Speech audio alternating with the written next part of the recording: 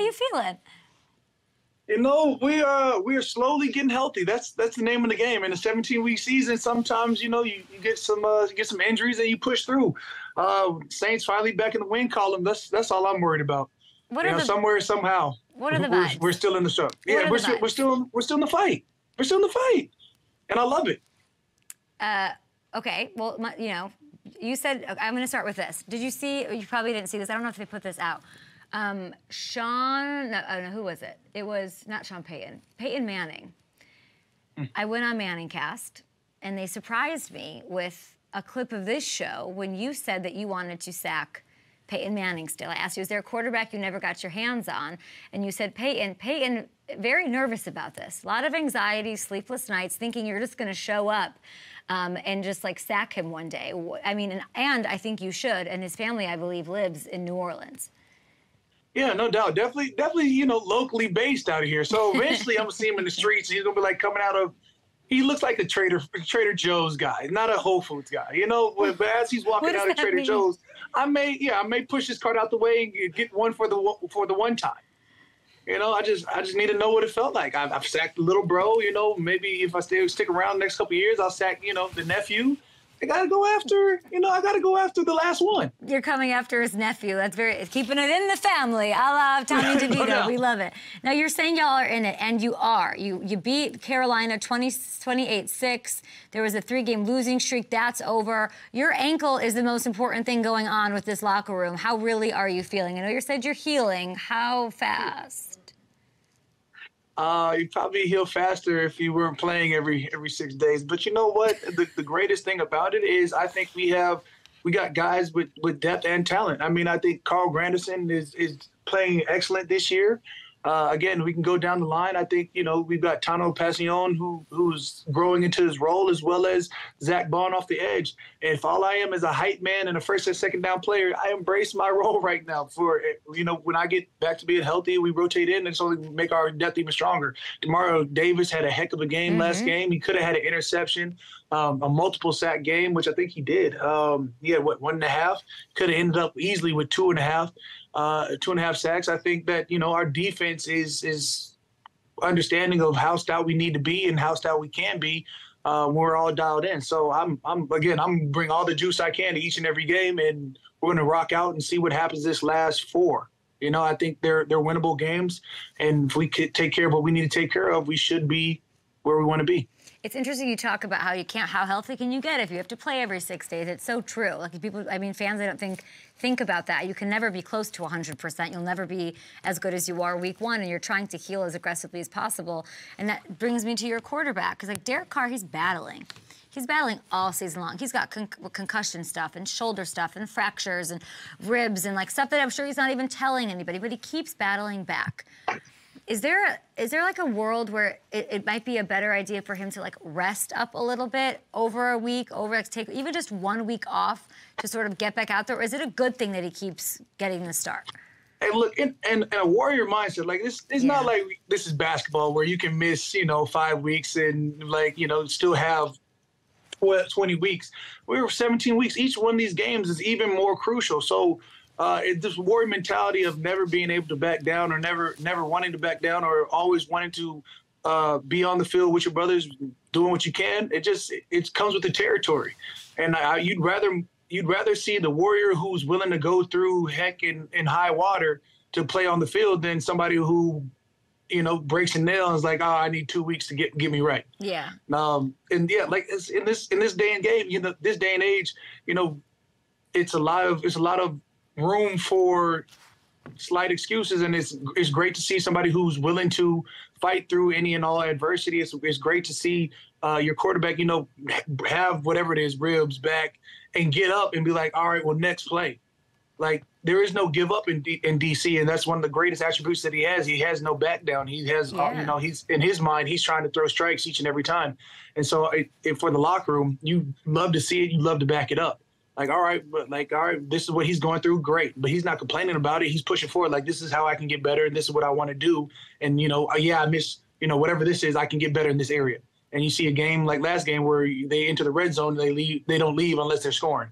Yeah, y'all have so much respect for him, and I think the thing is that the fan base and what you say matters to this fan base, maybe more than anybody there. What you say really matters, yeah. and you're hearing. I'm not there, but I'm hearing that there's booing. I'm hearing that there's frustration. I think there's an idea that, and really because Derek Carr is so banged up, is he better than Jameis would be? Uh, that is not my pay yeah. grade of a decision to make. I do know that you know fans booing, everybody's frustrated. There's there was a time and era where you know the, an offense was always ranked in the top three uh, for a long period of time, and fans have that high expectation and high standards as they should. Nobody, no one fan goes into a season unless you, uh, without shooting the team you know we're going to play since Eli left, you wouldn't say, "Oh man, right. I hope we make the playoffs." You go in with the standards of saying, "Hey, we are going to make the playoffs. We are going to make a deep run into the playoffs. We do want a Super Bowl this year." Every year I've ever stepped onto a field in September, I'd be like, "All right, the goal is to win a Super Bowl." Now, whether you achieve that or don't achieve that, the goal is to win a Super Bowl. So each and every win is that much more important, and and the fans sort of feel that, understand that, and want that for the for the franchise. You know, with with high success over the years, has come a high level of expectation. Yeah. And so you can feel the fr- frustration. And of course, anytime you lose, I'm never going to be ha- happy about it. And no one loss if you ever been like, mm, man, this feels good. It's not supposed to feel good. You know, this is supposed to. It's supposed to be upsetting.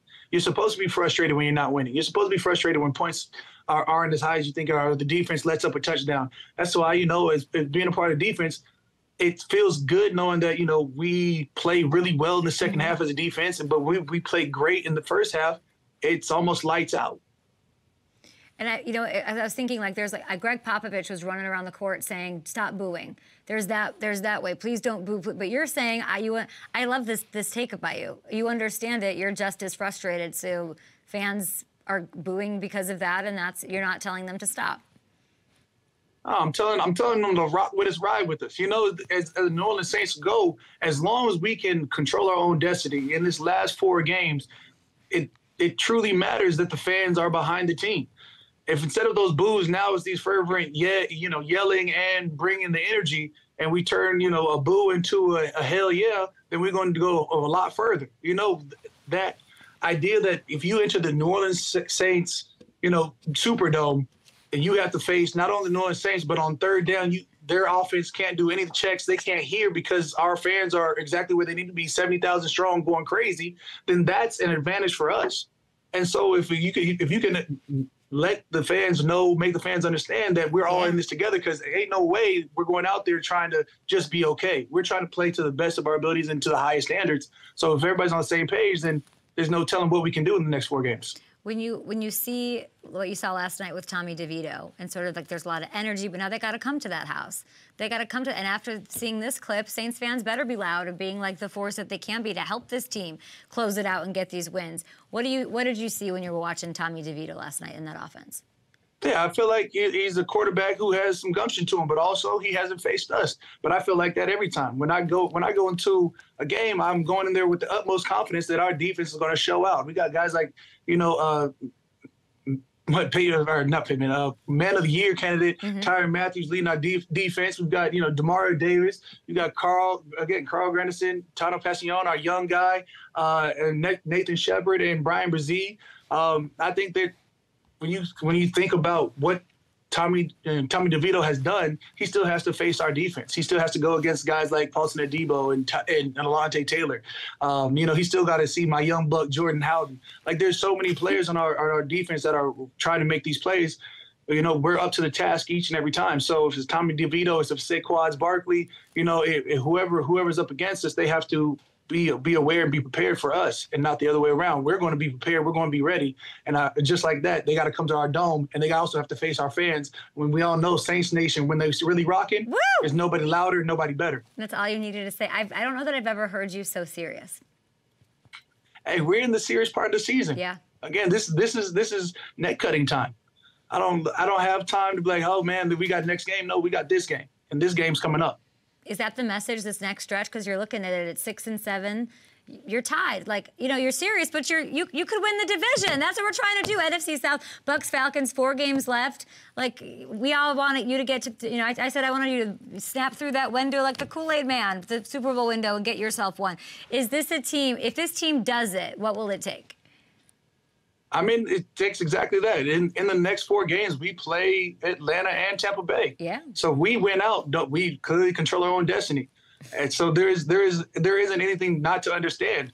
We we win. We control our own destiny. We get a ticket to the playoffs, which we haven't seen in two years. That's what we need. That's what we want. I, I, I would not want to be Tommy DeVito or any. I would not want to be facing Cam Jordan.